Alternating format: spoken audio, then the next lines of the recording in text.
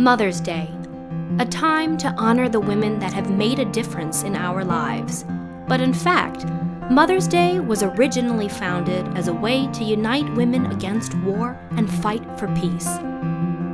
So this year, celebrate the important women in your life by supporting mothers and their families as they strive to overcome the lasting effects that poverty and violence have had on their communities.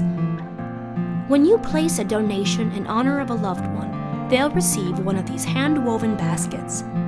Your contribution will help provide much needed income to the Rwandan women who made them. Women who are working together to provide for their families and to better their communities.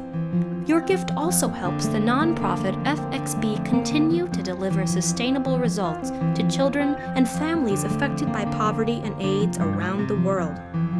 Go to www.fxb.org to find out more information and to send a basket. Honor your mother.